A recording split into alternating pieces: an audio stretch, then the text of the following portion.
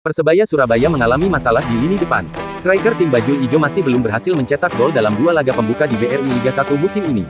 Pelatih Persebaya Surabaya, Haji Santoso, menyadari situasi timnya perlu perbaikan. Namun, dia masih menilai wajar mengingat Paulo Victor baru tampil satu babak pertandingan pada musim ini. Masalahnya, sejauh ini Persebaya hanya mengandalkan Bruno Moreira dalam urusan mencetak gol.